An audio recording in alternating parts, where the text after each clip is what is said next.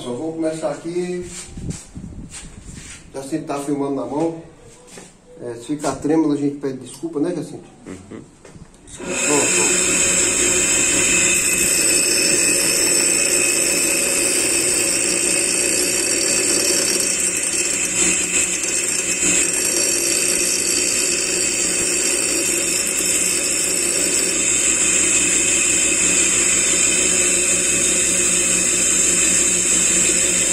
Tudo que vou deixar.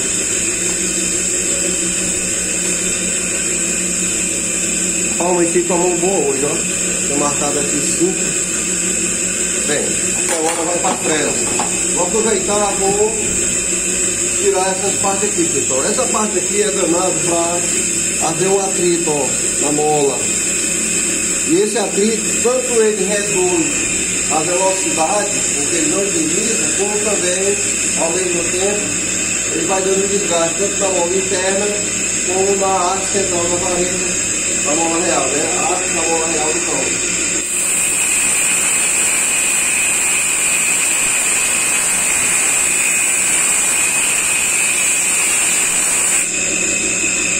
se todo cidadão soubesse, ele faria isso aqui.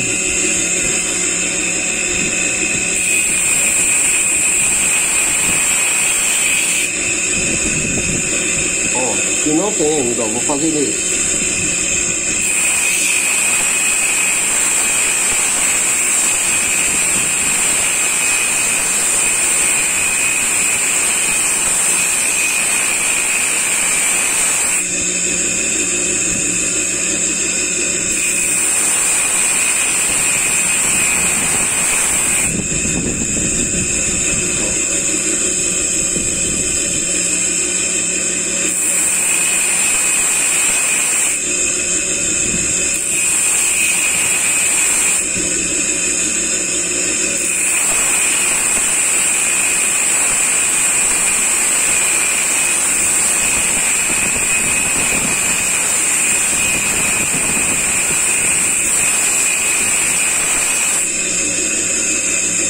Fiz esse lado, fiz esse, fiz esse, vou fazer o outro.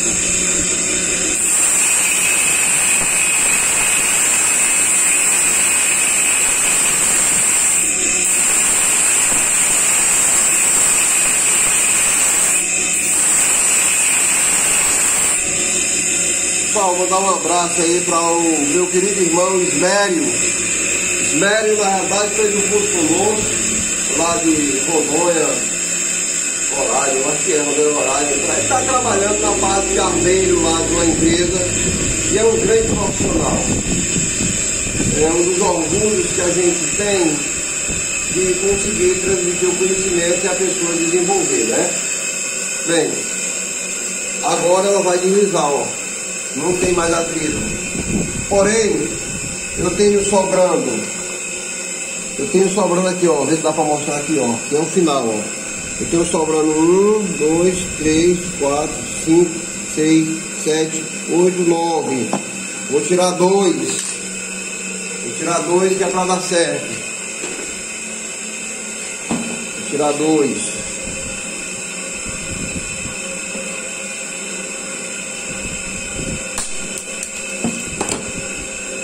Tirei duas voltas.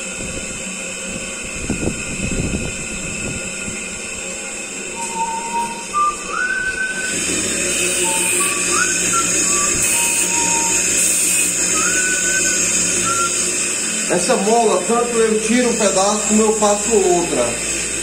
Às vezes, quando a pessoa tem a arma para a prática esportiva,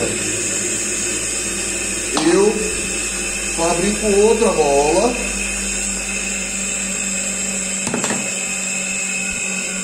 Fabrico outra mola. Inclusive, falar em fabricar em mola, vou mandar um grande abraço para o Alexandre Paixão, um dos grandes armeiros lá de Caruaru e ao Leandro. Leandro, inclusive, é um rapaz que trabalha com ele, eles trabalham juntos, não sei se são sócios, se são irmãos, mas sei que são, na realidade, pessoas de bem, que eu indico no Caruaru para fazer um trabalho da sua arma, viu? Alexandre Paixão e meu amigo Leandro, homem da cobra.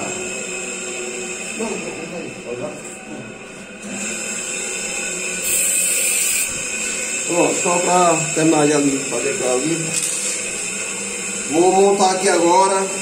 Já amaciei tudo que eu queria. Ó, esse ejetor da plataforma Beretta antiga, ele não tem, ó, essa pistola não tem decoque. Então quer dizer, tudo aquilo que poderia na realidade dar problema numa arma, essa arma não tem. Uma arma de guerra que não tem, não tem, ela não tem decoque, ela não tem o mergulhador do decoque, certo? Ela não tem o retém liberador do percutor, ficaria aqui do lado de cá, ela não tem.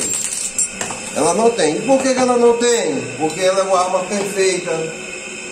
Quando começaram a criar segurança numa arma que na realidade não tem um disparo automático sozinho, passaram a danificar as armas.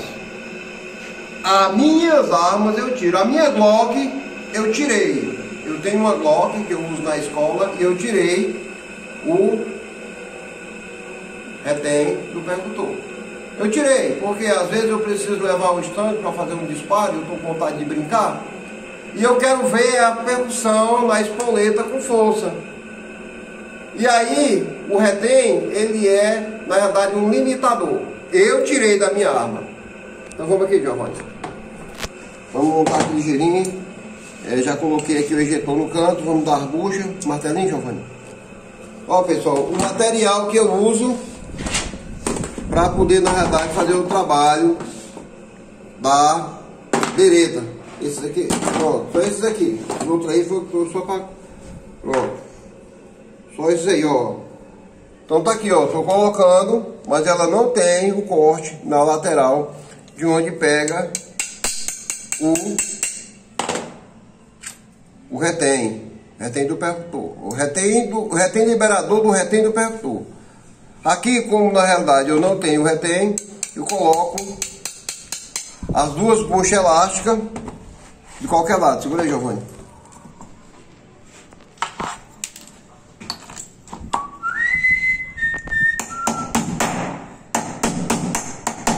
Não há resistência, pessoal. Se tiver resistência, na realidade, não está certo. Pedaço de raio de bicicleta um pedaço de raio de moto, pedaço de solda, quer dizer, são material simples, pedaço de raio de bicicleta mais reforçado.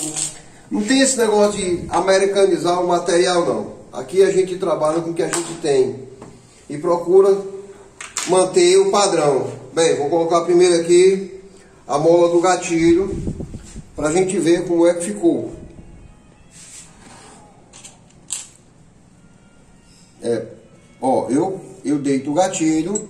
Na sala de aula eu mostro uma manhãzinha para o aluno que vem aprender. A gente monta um guia na mola para a plataforma Bereta, para a plataforma é, 800. Para quê? Para que na realidade o camarada, se tiver perdido, possa se encontrar.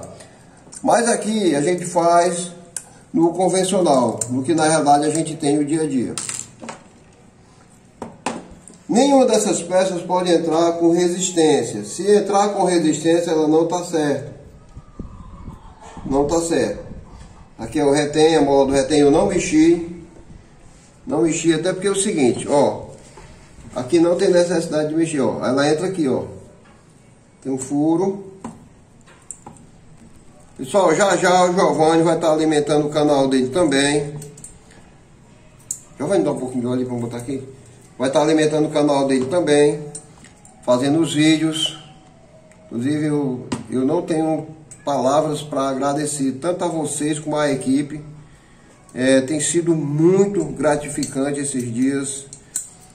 Muita alegria, muita alegria. Uma alegria que tem, tem que ser primeira vez Ó pessoal, quando eu boto óleo, ó, pronto, ele escorre. Não pode ter excesso de óleo. Se você tem uma, mais de uma arma e quer na realidade fazer a limpeza da sua arma, compre um compressorzinho pequeno. Tá bom? Diz Jacinto. Tá com 10 minutos, viu? 10 minutos. Vamos ver se o que, é que a gente monta aqui. Porque às vezes eu converso demais, mas vamos pra cá. Deixa eu montar logo essa outra peça aqui. Vou tentar manter o padrão de 10, 15 minutos. Para que a gente possa. Ó, nós temos duas molas que são iguais. Uma é a do mergulhador, que na realidade faz parte da trava de segurança, né? Que aqui é a trava de segurança. Ela na realidade também não tem é, a, a, a trava ambidestra, direita e esquerda, ela só tem uma esquerda. E a outra é aqui do retém, ó. Essa mais, mais clara, ela é mais leve, mais macia. Quando você desmontar a sua pistola, você deve observar, ó. Aqui é mais macia. Então tá aqui, ó. Essa é a daqui, ó. Inclusive essa pistola estava praticamente standard, não tinha sido muito mexida não. A alavanca, alavanca de desmontagem. Pronto, que já foi. Isso aqui, pessoal, é o bloco. Muita gente não conhece. E é uns que conhece chama de carrinho, chama disso, chama daquilo, mas aqui é o bloco de trancamento. É o bloco de segurança da hora do disparo. Ela segura e aí quando ela faz a ejeção dos gases, ela vem para trás, fazendo com que na realidade ela possa liberar para o cano abrir e o ferrolho armar. Certo? Deixa eu ver o que, é que eu posso montar mais aqui de giro.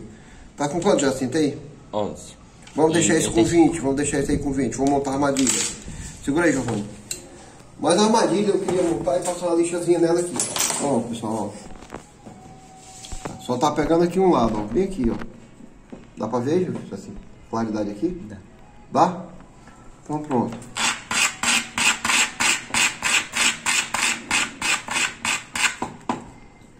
Ah, Sara, mas tu vai passar isso aí, vai mostrar pro pessoal. Pessoal,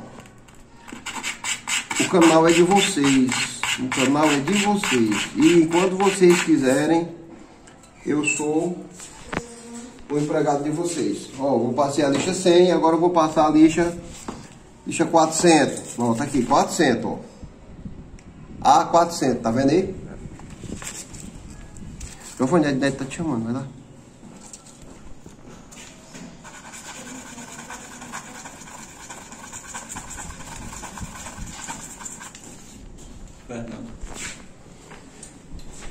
Pode receber ele lá, viu? Pode trazer pra cá, viu? Tem problema não. Pessoal, vou montando aqui, o Giovanni vai atender ali um cliente. Aqui, graças a Deus, a gente tem essa satisfação de estar com o pessoal direto. Ó, coloquei a armadilha no canto. Vou botar de novo, para vocês verem.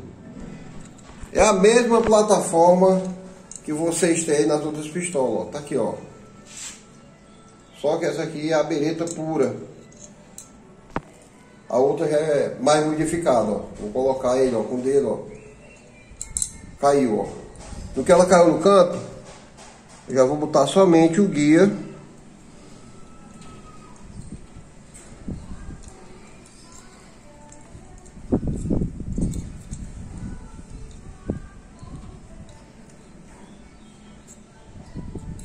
Ó, já botei aqui, ó. Pra ouvir? É o chucai da vaquinha. Tengo, tengo, tengo, tengo. Pronto. Aqui o eixo. Aqui a mola, ó. Mola que eu diminui o peso. Ó, pra vocês verem, ó. A, a moderna não faz isso, a armadilha, ó. Ó, olha aqui a armadilha aqui, ó. Ó, ó. Tá vendo aí, ó? A arma criada pela a armadilha não tem tanta liberdade. Já essa aqui, que é plataforma Beretta, ainda é a original, ela tem essa liberdade de ação. São algumas informações, pessoal, que muita gente às vezes não passa. Primeiro, porque tem medo de perder a majestade. Segundo, porque na realidade acha que o segredo da, do ofício tem que morrer com um cara que sabe. Tem não, meu amigo, você tem que passar para que as pessoas possam ter conhecimento. Ó, haste da mola real, mola real, o cão,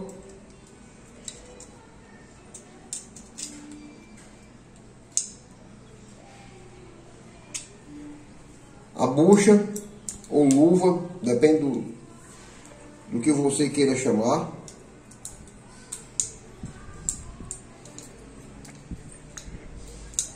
Ó, já vou fazer o disparo na armadilha, ó. Ó. De novo. Ó. E ele ainda voltou pro descanso. Agora encostou. Vou colocar aqui a casa da mola, ó. Casa da mola. Casa da mola. Ele tem esse furo aqui no centro, porque é onde trabalha a mola e o retém. Retém do carregador.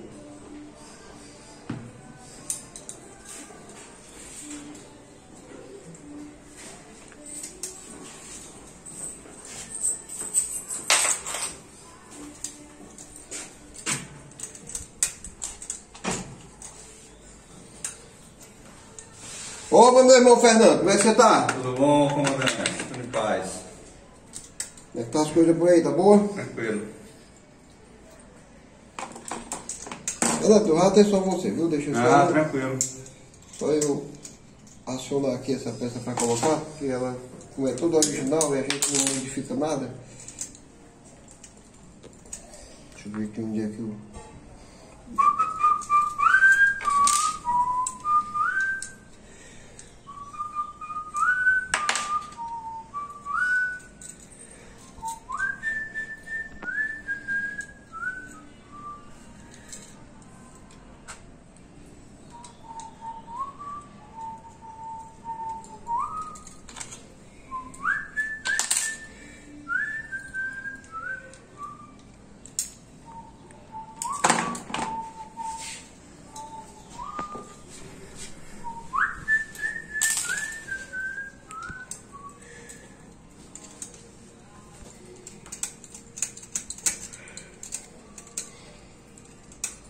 Pessoal, eu vou tirar e vou fazer um acabamento melhor, um pouquinho na haste da mola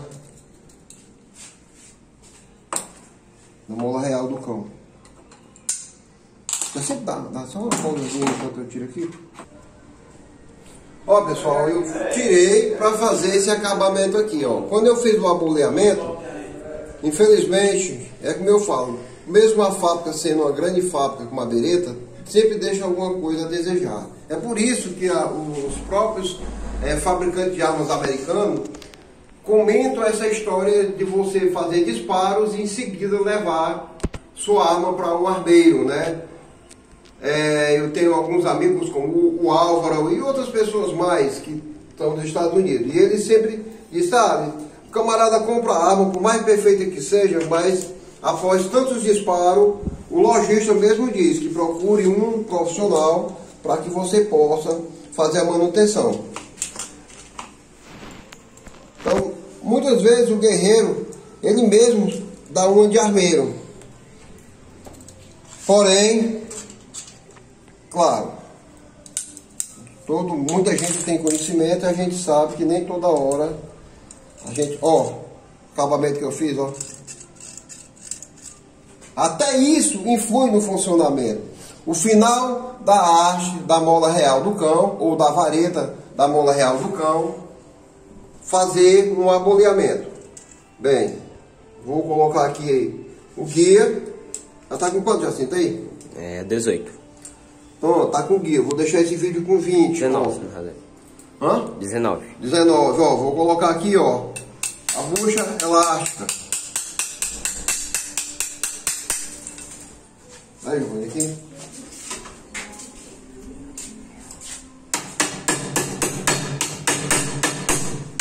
Pronto. Pessoal, esse modelo de pistola, o retém pro carregador é aqui, ó.